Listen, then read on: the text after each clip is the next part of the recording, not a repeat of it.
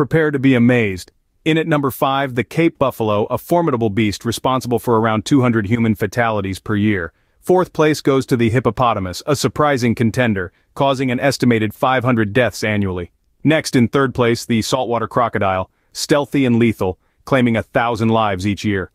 Runner-up, the king of the skies, the mosquito, responsible for a staggering 725,000 deaths each year through disease transmission. And now, the world's deadliest creature, the crown goes to humans. Yes, our own species, causing a mind-boggling estimated half a million deaths per year through intentional violence alone. Incredible, isn't it?